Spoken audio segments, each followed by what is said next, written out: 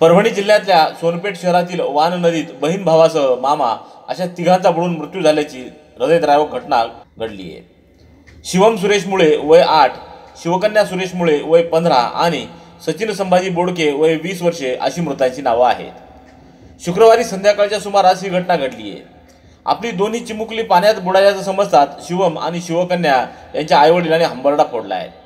तर एकाच कुटुंबातील तिघांचा नदीपात्रात बुडून करुण अंत झाल्यानं गावावर शोककळा पसरली आहे घटनेनंतर सोनपेठ पोलिसांनी नागरिकांच्या मदतीनं या तिघांचेही मृतदेह बाहेर काढले असून पुढील तपास सुरू केला आहे शिवम आणि शिवकन्या हे दोघे बहीण भाऊ वान नदी परिसरात खेळण्यासाठी गेले होते.